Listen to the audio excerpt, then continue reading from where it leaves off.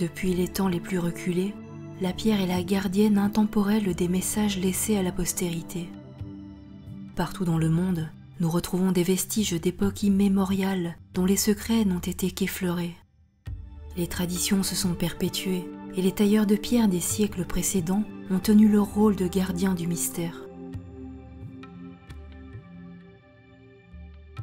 Je pense qu'il n'est pas pessimiste de dire que nous vivons dans une période de déclin. La situation actuelle, à de nombreux niveaux, semble s'assombrir de jour en jour. Une petite poignée d'humains, se considérant comme les maîtres invisibles du monde, dictent à leurs exécuteurs les sombres dernières pages de notre histoire. Entre les guerres, les désastres écologiques, les famines, la diminution des libertés individuelles, l'étau se resserre et le pouvoir de l'ombre grandit. La perversion et les vices humains, relayés par les écrans de télévision ou de cinéma, abaissent la conscience humaine à un niveau très bas. Dans très peu de temps, la 5G viendra parfaire le tableau en agissant insidieusement dans nos cerveaux et nos organismes, faisant de nous des zombies asservis. L'humanité va mal. Il ne faut pas douter que de là-haut, les dieux, nos créateurs, nous observent. De nombreuses traditions rapportent le récit du déluge, provoqué par les dieux courroucés de voir la situation sur Terre se détériorer. Un cataclysme d'eau ou de feu s'abat alors sur la Terre, en anéantissant tout sur son passage, laissant une Terre vierge permettant à une nouvelle humanité de redémarrer sur des bases saines. Selon les airs zodiacales, nous sommes en ce moment dans une période de transition entre l'ère des poissons et l'ère du Verseau. Dans ses écrits, Platon affirme que des cataclysmes ont sévi dans le passé, à chaque période intermédiaire entre deux ères. L'un des plus célèbres aurait englouti l'Atlantide en un jour et une nuit. Nous sommes donc potentiellement en train de traverser un de ces moments charnières, car l'histoire est un éternel recommencement, rythmé par les cycles de précession des équinoxes de telles phases de déclin de l'humanité ont logiquement déjà eu lieu plusieurs fois, aboutissant inéluctablement à une conclusion funeste. Bien sûr, il y eut des survivants. Des récits, des archives du passé furent laissés en divers endroits du globe afin de prévenir les suivants qu'un tel événement allait se reproduire de manière certaine. Le message se transmit de siècle en siècle entre initiés. Depuis 30 ans, le chercheur Didier Coalac étudie les monuments français. Ses recherches l'ont mené à décrypter un incroyable message mêlant interprétation symbolique et alignement géographique, scrupuleusement associé aux textes anciens. Ayant scruté la France et ses monuments à la recherche du moindre indice, ses travaux sont aujourd'hui étayés d'une multitude d'exemples, de preuves concrètes, interprétées de manière rationnelle. Et si un message d'alerte venu des temps immémoriaux avait été laissé là sous nos yeux comme un code sculpté dans la pierre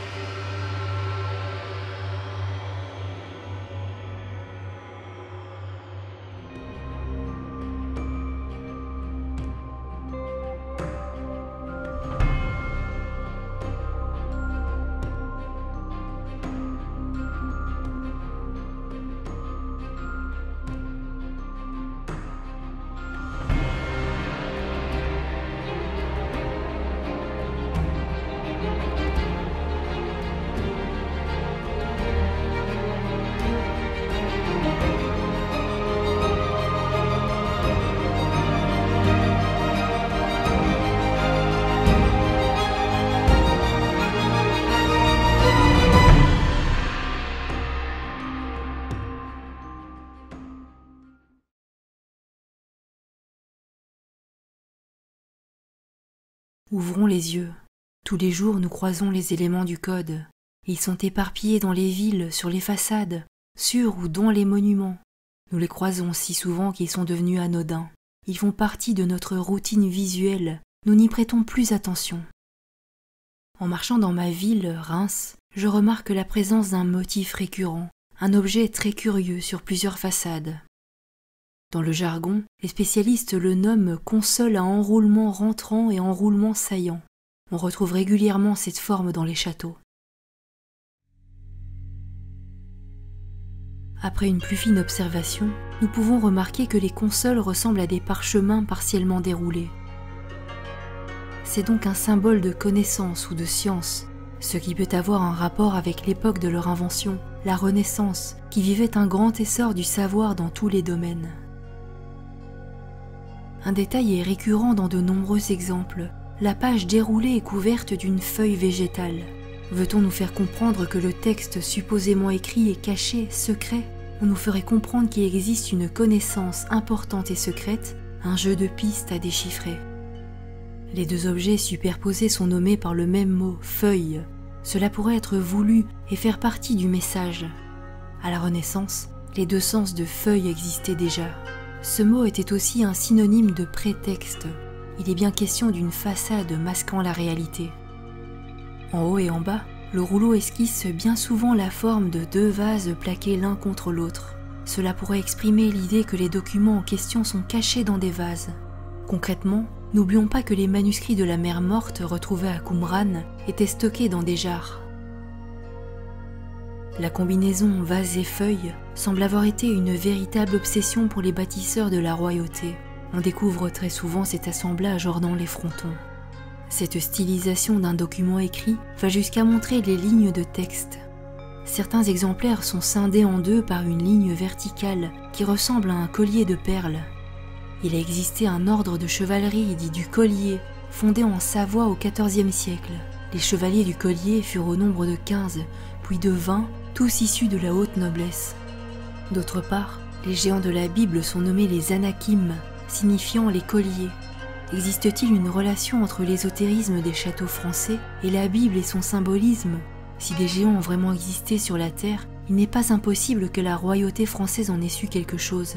Elle aurait possédé des manuscrits apocryphes très anciens. Dans certains cas, les pots sont fermés par des fleurs. Sur un plan esthétique, qu'y a-t-il de plus banal que des fleurs? Un des sens du verbe fleurir était camouflé en ornant. Un détail important saute aux yeux. Les motifs ne sont pas des fleurs mais des boutons de fleurs avec des colorettes de sépales en pourtour. Le bouton floral montre une étape préalable. La fleur n'est pas encore déployée. Peut-être nous fait-on comprendre qu'il arrivera une époque, celle de la floraison, où le bouton s'ouvrira, ouvrant du même coup le vase. Les bâtisseurs semblent attendre un âge de révélation. On croise très souvent ce type de balustre de rampe. Les éléments qui les composent sont des vases obstrués par un couvercle. On se surprend à imaginer que des documents pourraient y attendre l'heure de leur mise au jour. L'apparente banalité des multiples sculptures décoratives est un leurre.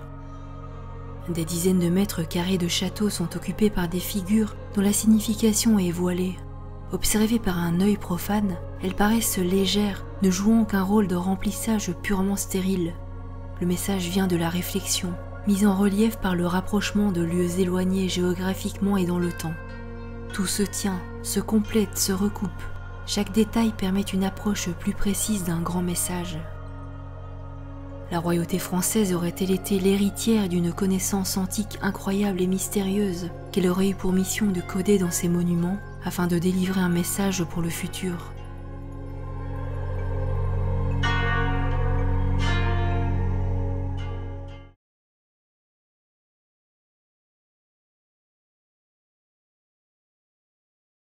J'ai traité le sujet de l'Atlantide dans deux vidéos précédentes que je vous invite à visionner si ce n'est déjà fait. De nombreux auteurs font allusion à cette civilisation mythique, dont l'existence pour eux est une certitude. Cette île aurait été engloutie en un jour et une nuit suite à un grand cataclysme. La grande civilisation d'Atlantis, ayant atteint un haut niveau de sophistication, aurait été punie par les dieux pour avoir sombré dans la débauche. De nombreux textes anciens parlent des cycles de la Terre, prenant fin par une grande catastrophe, un déluge emportant tout sur son passage. L'une des douze tablettes de l'épopée de Gilgamesh, découverte dans les ruines de la bibliothèque d'Assurbanipal à Ninive, contient le récit du déluge.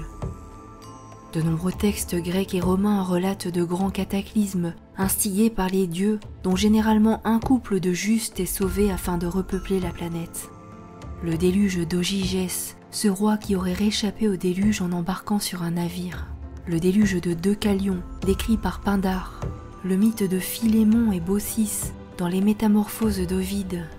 Platon a relaté deux déluges, celui qui engloutit l'Atlantide dans le Timée et le Critias, et celui de son livre 3 des lois, auquel seuls auraient survécu les habitants des montagnes. Le Coran raconte l'histoire du déluge, mettant en scène nu l'équivalent de Noé de l'Ancien Testament. Dans les deux textes, ce personnage est sauvé avec les personnes de son entourage grâce à une embarcation après avoir été prévenu par Dieu. L'Avesta, un texte sacré zoroastrien, dépeint un épisode de catastrophe climatique, une grande glaciation, dont un homme juste, Yima, sera sauvé grâce au message d'alerte que lui envoie le dieu Ahura Mazda. Dans plusieurs textes indiens antiques, dont le Matsya Purana et le Mahabharata, Manu, le premier homme, est sauvé par le premier avatar de Vishnu, Matsya. Lui aussi échappe au déluge en construisant un bateau. Dans ces textes, quatre temps successifs sont évoqués or, argent, bronze ou cuivre et fer. Chaque époque représente une dégénérescence par rapport à l'époque précédente. Nous serions actuellement dans la basse époque du Kali Yuga, l'âge de fer, devant se terminer par un cataclysme cosmique. Les Celtes pensaient que les dieux avaient vécu pendant le quatrième âge et étaient passés par le déluge. Nous serions actuellement dans le cinquième âge. Étrangement, les Mayas se positionnaient d'une façon similaire dans le grand cycle du temps. Ils croyaient vivre dans le cinquième soleil. Le déluge aurait eu lieu lors du quatrième soleil. Pour les Aztèques, quatre mondes où soleil avait précédé le nôtre. Ils furent tous détruits par des cataclysmes de grande ampleur. Nous devons le constater, de nombreuses traditions relatent l'histoire d'un déluge qui anéantit l'humanité.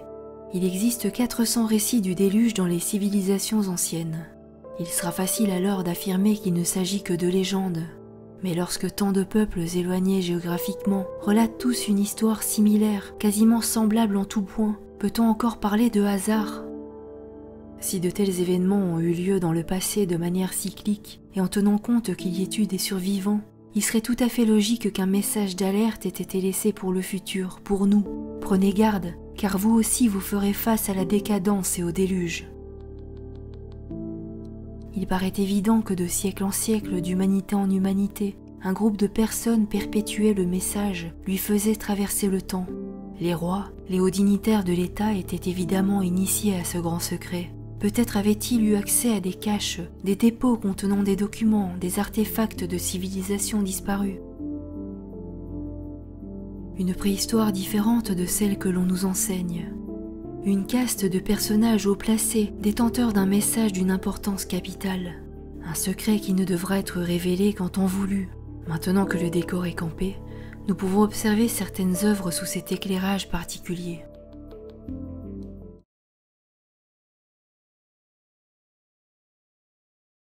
Voici un tableau de Henri Testelin qui s'intitule Colbert présente à Louis XIV les membres de l'Académie des sciences créée en 1667. À gauche, un homme présente un globe terrestre. La position de sa main droite sur le globe est évocatrice, exactement au large du détroit de Gibraltar. Or l'Atlantide est localisée dans les textes comme se trouvant au-delà des colonnes d'Hercule, soit le détroit de Gibraltar. Du pouce de sa main gauche, il indique aussi un endroit précis, le mont Ararat en Turquie, lieu où l'arche de Noé se serait échouée après le déluge.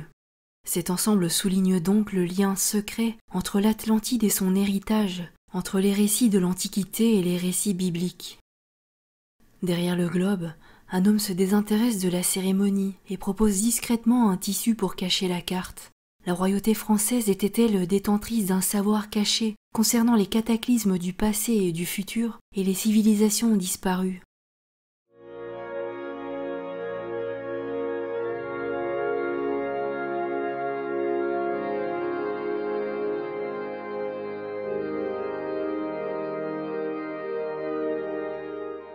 Nous voici à Versailles dans la galerie des glaces. Sur un médaillon du plafond peint par Charles Lebrun et son équipe, nous pouvons reconnaître le roi Louis XIV. Pour l'historien Nicolas Milanovic, la représentation évoque la création de la Compagnie des Indes orientales et occidentales en 1664.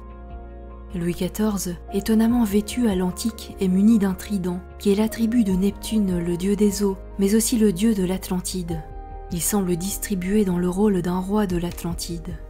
Les prisonniers subissant le joug du trident et le bateau pourraient se comprendre comme des allusions à cette île conquérante, à la civilisation portuaire.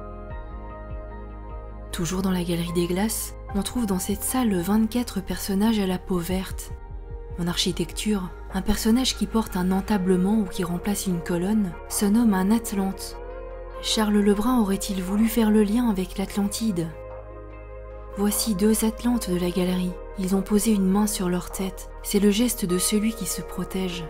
Ces hommes ont de quoi redouter le cataclysme qui va engloutir leur île. À l'appui de cette interprétation, on note la présence d'un grand tissu que les personnages portent contre et au-dessus d'eux.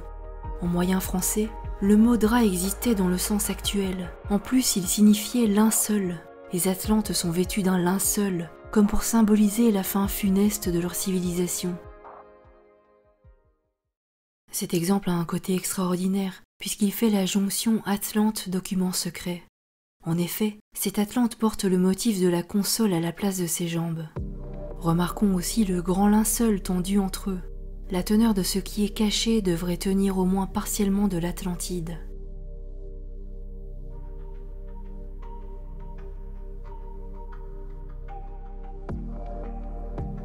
Attardons-nous sur l'escalier molien du Louvre, ancien palais royal. Il ne s'agit encore ici pas d'une simple décoration futile et superficielle. Les artistes et les commanditaires ont eu une intention précise, avec des références érudites à la mythologie. L'Atlante brandit en hauteur une main de justice au bout d'un long manche. Cet objet était un attribut des rois de France. Est-ce une façon de nous dire que nos rois étaient les héritiers de l'Atlantide? Il porte sur la tête le motif du rouleau de parchemin. Ce qui est écrit dessus doit donc se référer à l'Atlantide, si l'on suit la logique de l'assemblage. Comme souvent, l'Atlante n'a pas de jambes, celles-ci sont comme gainées dans des étuis. C'est ce qu'on appelle en architecture un terme. Le mot terme est aussi synonyme de mot et de fin. Le mot fin est important s'il est mis en rapport avec l'Atlantide. En haut à droite, un tapis est accroché et doit pouvoir s'interpréter. On ne peut pas imaginer qu'un tel détail soit là sans raison. Le mot tapis a longtemps désigné une pièce de tissu servant à l'ameublement ou à la décoration. On dirait aujourd'hui une tenture. Le tapis qui est près de l'Atlante est bien un objet de décoration. Son rôle kabbalistique est d'indiquer le verbe tapir, se cacher. On peut aussi penser à l'adjectif tapinois, déguisé. Le tapis est donc là comme un indice. Il nous suggère que toute la décoration recèle des sens cachés. Il est assorti d'une guirlande, symbole évident de fête et de célébration. Ce chapelet ou guirlande de fleurs et de feuillages appelle le verbe chapeler, frapper durement taillé en pièces. Si les concepteurs de la décoration ont souhaité que l'on rapproche ces deux mots, ils veulent nous faire comprendre que les Atlantes, tombés dans une vie décadente et donc amateurs de fêtes et de guirlandes, ont été paradoxalement frappés durement.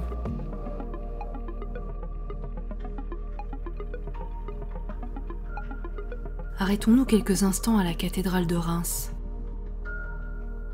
Une série de personnages soutiennent des pierres sur leur dos.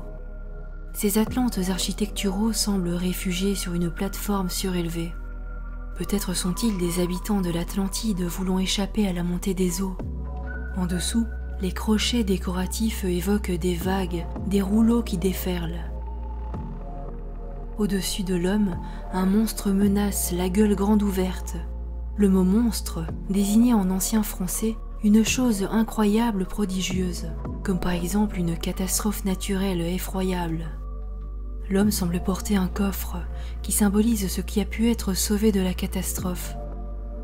On remarque la présence d'une pièce de tissu roulée sur l'épaule droite de l'homme, comme pour les Atlantes de la Galerie des Glaces on en arrive à constater que la représentation de ce type de personnage se plie à certains critères bien définis et signifiants pour l'initié.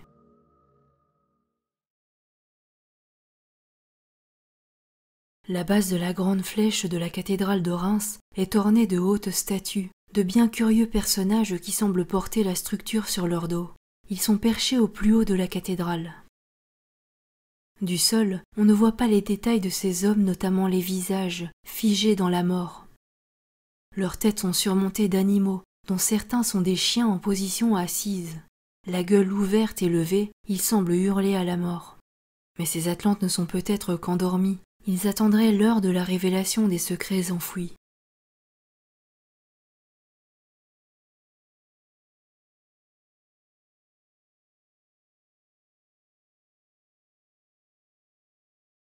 Neptune est le dieu des mers et des océans en furie, le dieu des sources et des eaux douces. Son nom grec Poséidon signifie causeur de tremblements de terre. Il avait donc le pouvoir d'ébranler la terre et de fendre les montagnes. Il était d'un caractère bourru et querelleur, facilement destructeur. Neptune était un des dieux les plus honorés de la Grèce et de l'Italie, et beaucoup de temples lui étaient consacrés. Les Romains lui dédiaient le mois de février, ses emblèmes étaient le trident et le cheval. Neptune aurait vécu en Atlantide avec sa compagne humaine Clito, de laquelle il aurait eu dix enfants mâles, dont l'aîné, Atlas, devint le premier roi de l'Atlantide. Dans la mythologie grecque, il existe un déluge tout à fait comparable à celui qui est raconté dans l'Ancien Testament. Zeus demande à son frère Poséidon de l'aider à créer un gigantesque orage afin de submerger la terre. Il plut ainsi pendant neuf jours et neuf nuits, et l'eau recouvrit le monde.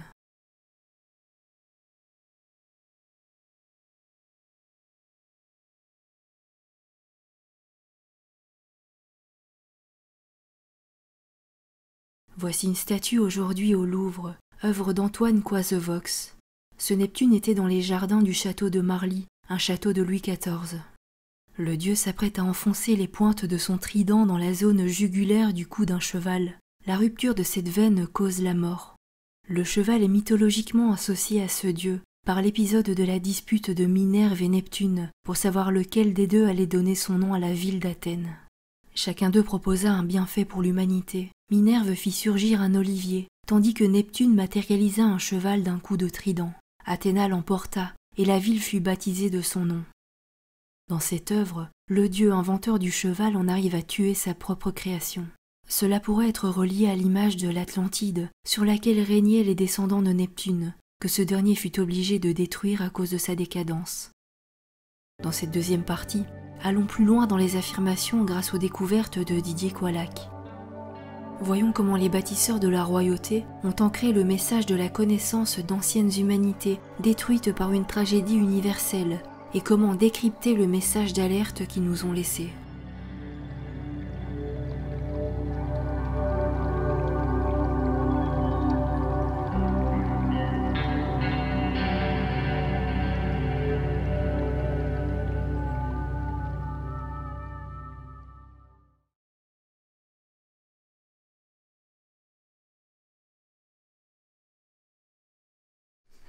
Le thème des hommes lions est particulièrement intéressant, puisqu'on trouve dans les monuments d'innombrables exemples de ces têtes hybrides. Ils donnent bien souvent l'impression de souffrir, ce qui pose une énigme, mais les réponses existent. À partir de la Renaissance et jusqu'au XIXe siècle, dans les grands monuments, on trouve des visages étranges, intermédiaires entre l'animal et l'homme, ils envahissent discrètement les surfaces décoratives sans que personne ne se demande quelle est leur signification. Tout au plus dira-t-on qu'ils appartiennent à un style grotesque dont on a perdu les clés d'interprétation. Ce sont en fait des formes dérivées du lion, des hommes lions. Notons que les mythologies des civilisations anciennes mettent en scène des dieux à l'apparence animalisée qui apportent la civilisation à l'humanité. En Égypte, la déesse Sekhmet avait un corps humain et une tête de lionne, tout comme Narasimha, le quatrième avatar de Vishnu dans la mythologie hindoue. On peut se demander d'où viennent initialement ces légendes qui ont généré ces super acteurs de la vie antique. Une explication serait qu'il a existé, dans une préhistoire oubliée, une humanité dont le physique comportait des caractères animaux.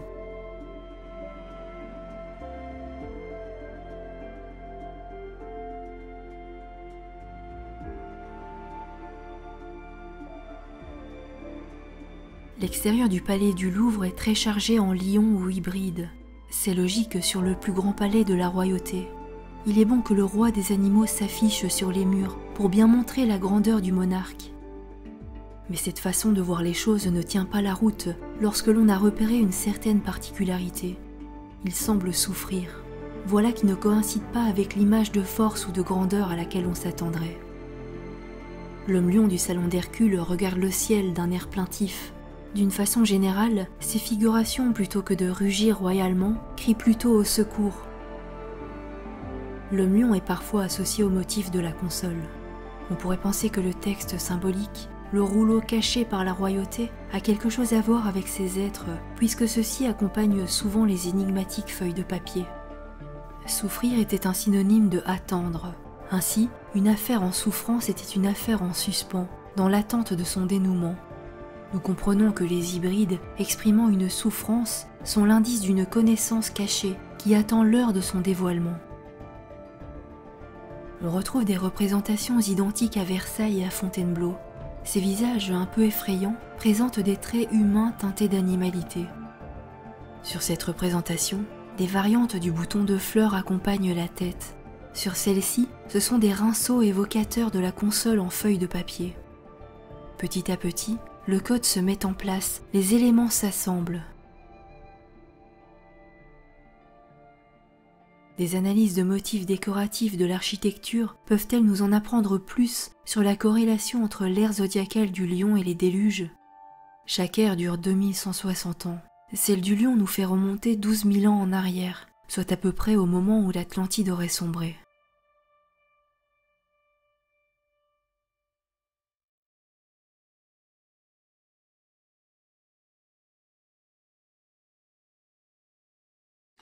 Les bâtisseurs, qui étaient des initiés, se sont servis des signes astrologiques comme moyen de datation. Ainsi, le signe du lion va se référer à l'ère du lion. Il permet de dater l'époque de la fin de l'Atlantide.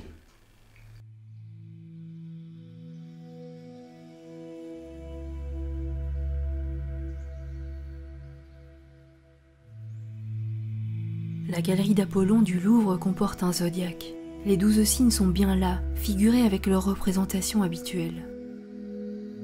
Mais nous constatons malgré tout une anomalie, un signe dont le dessin ne coïncide pas avec la représentation traditionnelle. La Vierge n'est pas montrée par une femme, mais par un enfant portant une faucille, près d'une botte de blé. La moisson est une image utilisée dans la Bible pour désigner le jour de Yahvé, le jour de la colère divine. Dans le livre de l'Apocalypse, il est question de la fin de notre monde qui arrive dans des catastrophes épouvantables. Le travail de coupe des tiges de blé devient l'allégorie de la destruction de la société et des hommes. La moisson agricole symbolise le jugement des âmes qui accompagne la fin des temps. Le Fils de l'homme vient du ciel pour moissonner la terre. Cette comparaison simple pouvait être comprise de tout le monde. La moisson est la fin d'un cycle civilisationnel qui déboucha sur la récolte du grain, promesse d'un nouveau cycle.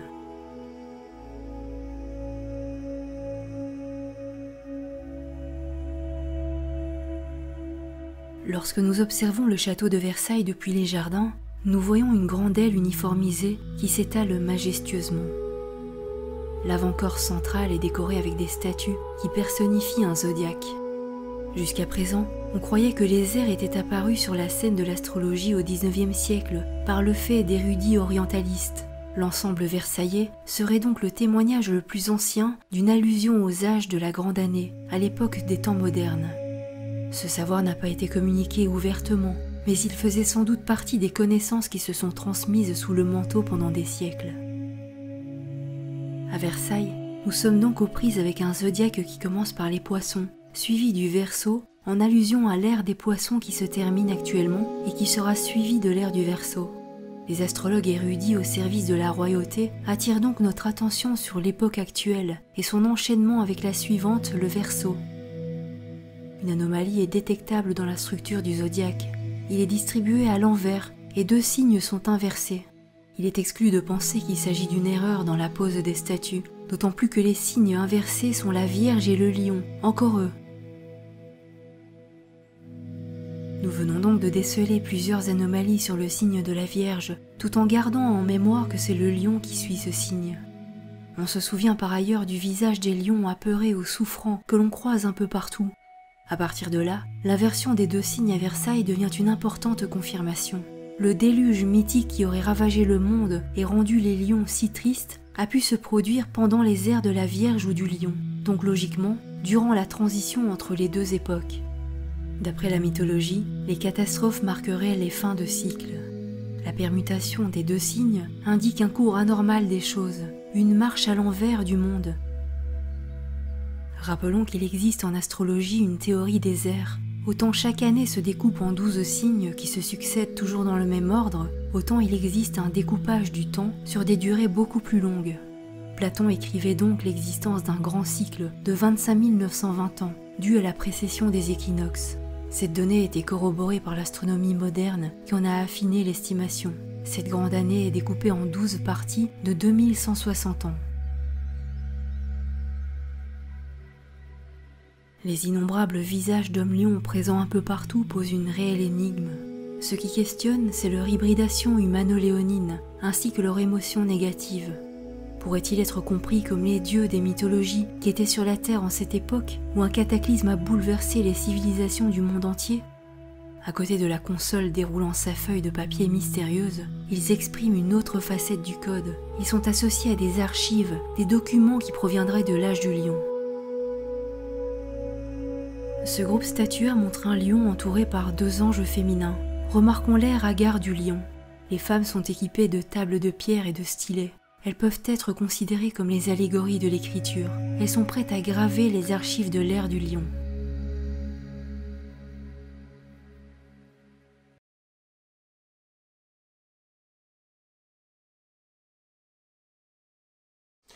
Le médium Edgar Cayce était très fiable.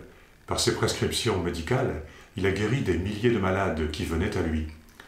Dans un tout autre domaine, concernant le site de Gizeh en Égypte, il a dit qu'il existe une salle souterraine sous le Sphinx qui contient les archives de l'humanité.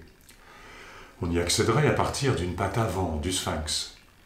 Mais il semble que les rois et les empereurs le savaient déjà. Encore une fois ici, je vous renvoie à ma vidéo La cité souterraine de Gizeh qui vous donnera les explications nécessaires pour comprendre la suite. En résumé, nous retiendrons que le sous-sol du Grand Sphinx est largement suspecté de receler des chambres secrètes. En France, les bâtisseurs des palais royaux et impériaux pouvaient-ils être au courant? S'il s'agit d'un trésor culturel fabuleux issu d'une civilisation oubliée, le code français pourrait s'appuyer en partie sur cette connaissance occulte du Sphinx. Y a-t-il eu des fouilles confidentielles à une époque ou une autre, ou simplement la transmission d'informations confidentielles? Au XVIe siècle, François Ier avait envoyé Guillaume Postel en Orient afin qu'il collecte des manuscrits rares. Au temps de Louis XIV, François Pétis de la Croix fut envoyé en Orient par Colbert. Il y passa dix ans et recueillit un riche matériau pour ses futurs écrits.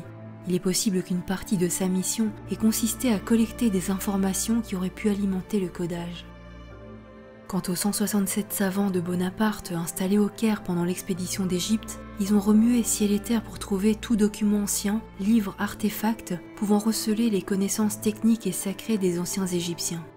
On dit que Bonaparte aurait passé une nuit seul dans la grande pyramide. Au matin, il en serait sorti en refusant de faire le moindre commentaire. De ce climat particulier serait venue la décoration de certains meubles qui codifient une partie d'un savoir occulte, les artistes français eurent ainsi des sources d'inspiration fiables qui n'existaient pas avant. Ils créèrent des formes égyptisantes que l'on retrouve aujourd'hui dans les châteaux. Voici un chenet de cheminée en bronze d'époque Napoléon Ier. Ce sphinx égyptien est couché sur un étrange support. Ramené aux dimensions réelles du sphinx de Gizeh, ce volume pourrait s'apparenter à une chambre souterraine. Les pieds du chenet sont des pattes de lion. Serait-ce pour nous faire comprendre que la salle en question a son entrée sous ou entre les pattes du sphinx? Nous posons l'hypothèse que Bonaparte a bénéficié d'une initiation au mystère de Gizeh. Il serait entré dans la connaissance de l'aspect occulte du site, bénéficiant peut-être d'une visite des lieux souterrains. À son retour en France, il aurait imposé certains critères à respecter dans l'apparence de certains objets utilitaires ou décoratifs. Peut-être même le secret de l'Égypte était-il connu du temps des rois. Notre enquête continue dans le château de Vaux-le-Vicomte, où trois tables nous fascinent de par leurs pieds. Ces supports sont ornés de têtes de lion, placées sur une sorte de poitrine. Les pieds se terminent par une patte de lion. On peut dire que l'étrangeté de ces tables est une manière de poser une énigme. Remarquons qu'il y a deux objets tout en bas du pied de la table. D'abord une sorte de boîte ou de coffret. En dessous se trouve le motif du rouleau.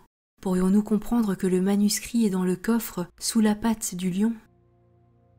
Cette idée d'une tête de lion directement connectée à une patte a été réutilisée dans une version plus sophistiquée.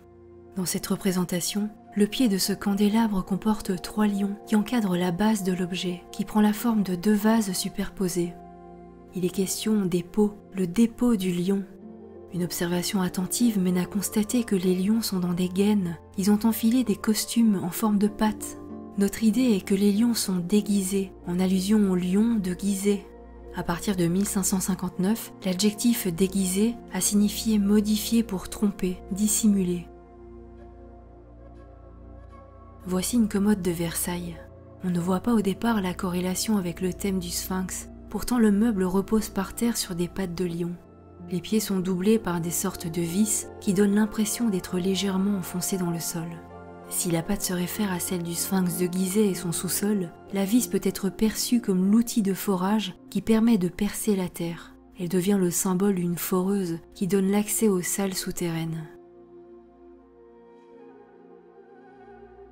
La représentation de Sphinx ramène donc à la plus grande sculpture du monde, le Sphinx de Gizeh, le plus ancien, l'archétype.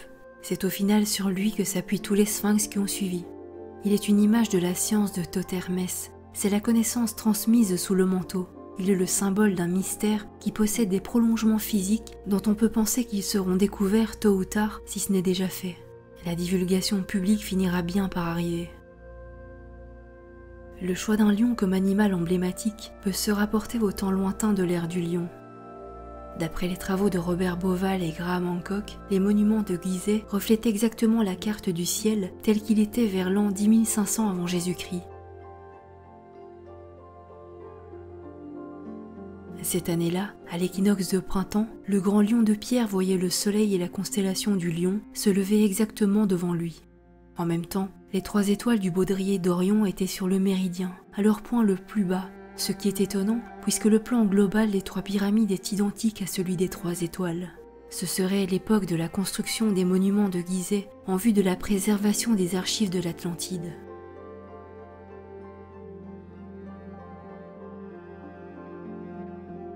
Pour clore ce chapitre en apportant un dernier élément, voici un lion que l'on trouve aux abords du palais royal de Bruxelles.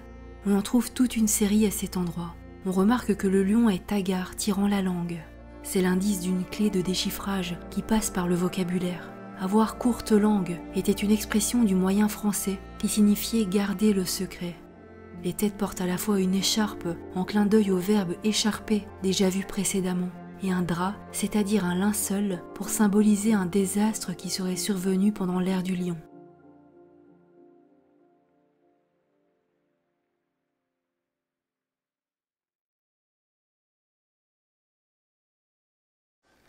La mythologie grecque est réputée être un fatras d'histoires inventées.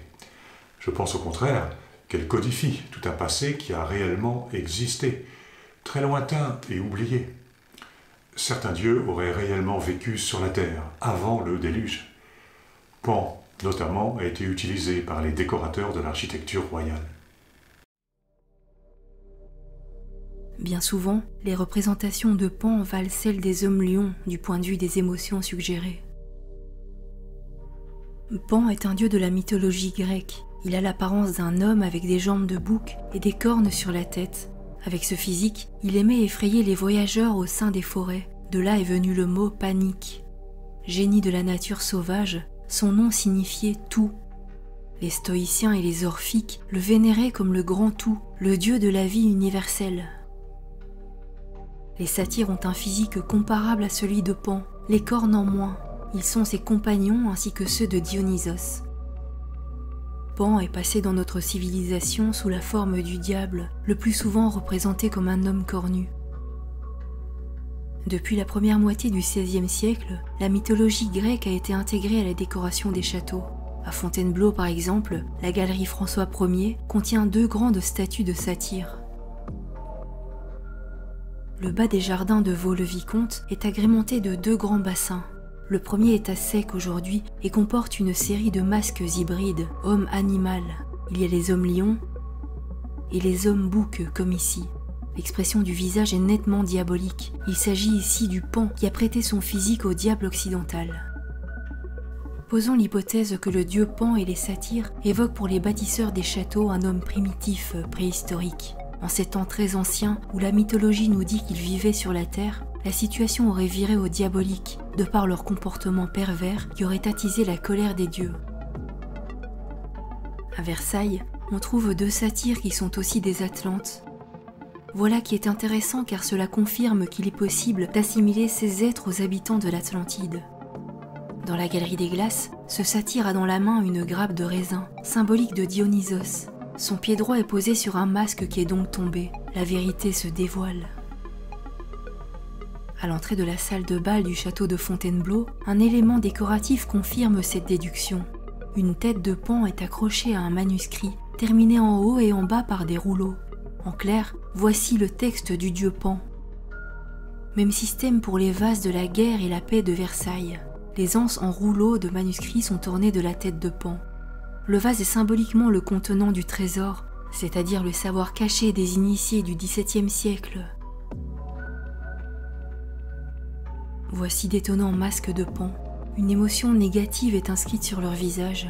On remarque que le dieu manifeste une pure émotion de peur. La bouche bée, il voit quelque chose qui le terrorise. C'est étonnant car dans les péripéties mythologiques, c'est lui qui déclenche la panique. Il doit donc y avoir une explication à la présence de ces expressions horrifiées et nous proposons celle-là. Pan voit son futur. Il voit donc les eaux du déluge qui arrivent et qui vont l'anéantir. Autrement dit, l'homme bouc va être fait bouquer. Il va subir une humiliation, une contrainte sous la forme d'un déluge qui va anéantir son monde. Ici au château d'Oiron, le bouquet est bien présent. Il pend à partir de la bouche de Pan.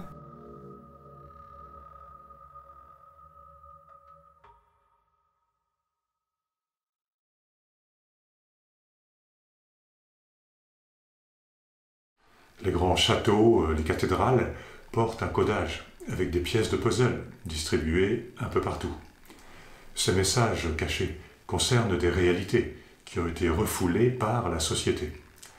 Il a toujours été prévu que les secrets sortent de l'ombre à l'aube de l'ère du Verseau pour une nouvelle civilisation qui doit commencer euh, bientôt. Dans l'Antiquité, l'astrologie était considérée par toutes les civilisations méditerranéennes comme une science importante. Il y a 2000 ans, l'actuel zodiaque des signes astrologiques existait déjà. Le zodiaque égyptien de Dendera, par exemple, possède les mêmes signes que les nôtres. Les anciens connaissaient la grande année, fondée sur la précession des équinoxes. Nous sommes actuellement à la fin de l'ère des poissons, qui sera suivie par l'âge du Verseau.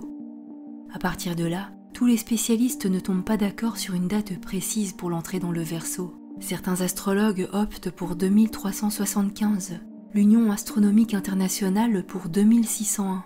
L'écrivaine occultiste Alice Bailey croyait au XXe siècle que l'ère du Verseau arriverait de façon imminente. Pour Jean Faure, l'ère du Verseau allait commencer au début du XXIe siècle. Les Égyptiens, mais aussi les Babyloniens, connaissaient la constellation du Verseau, ainsi que son symbole de l'homme versant l'eau d'un vase. Les Grecs assimilaient ce personnage à Deucalion, l'équivalent du Noé biblique.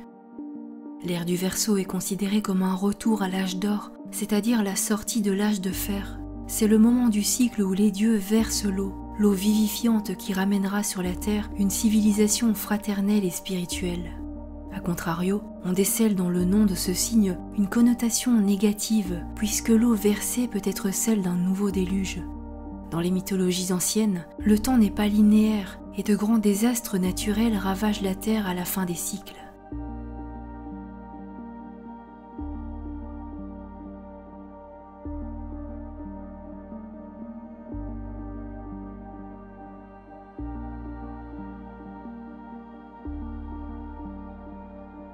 Retour à Versailles dans les jardins, sur le parterre d'eau plus précisément.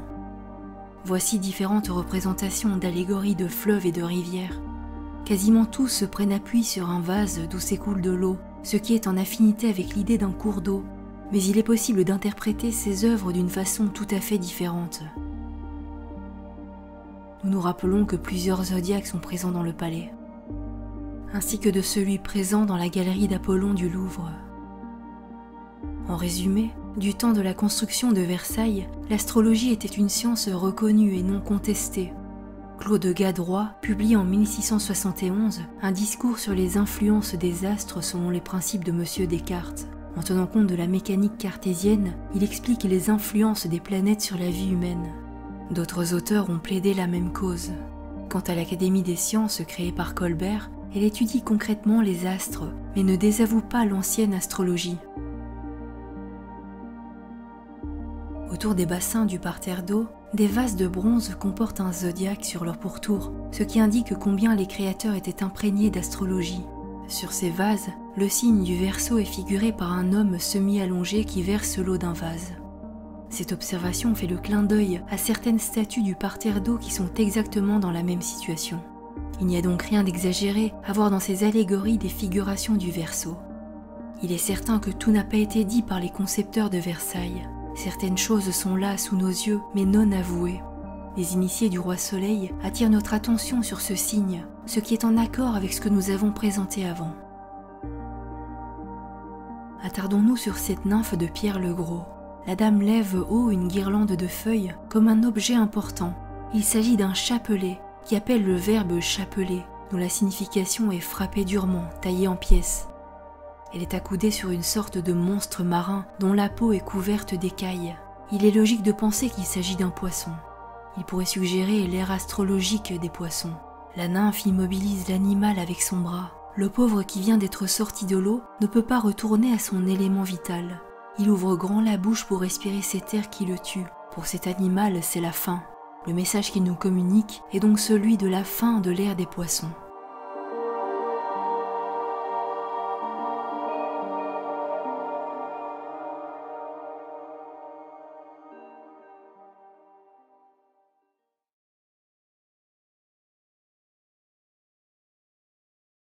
Le temps de la fin des poissons précède juste l'ère du Verseau.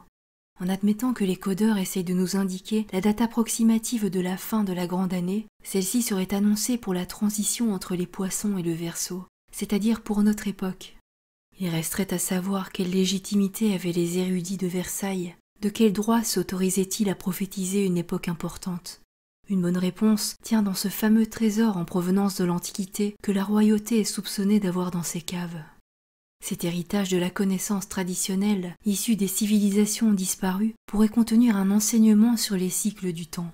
Si les ères se succèdent d'une façon mécanique, en relation avec les positions des planètes et des constellations, si les comportements humains subissent l'influence des astres, alors il est peut-être possible de prévoir la date du prochain cataclysme. Nous ne pouvons pas affirmer que le cours des choses est assurément déterminé comme le mouvement des aiguilles sur le cadran d'une horloge. Nous disons que les initiés, les érudits qui sont à l'origine du code, estimaient avoir des raisons suffisantes pour le croire et pour nous transmettre une sorte d'avertissement.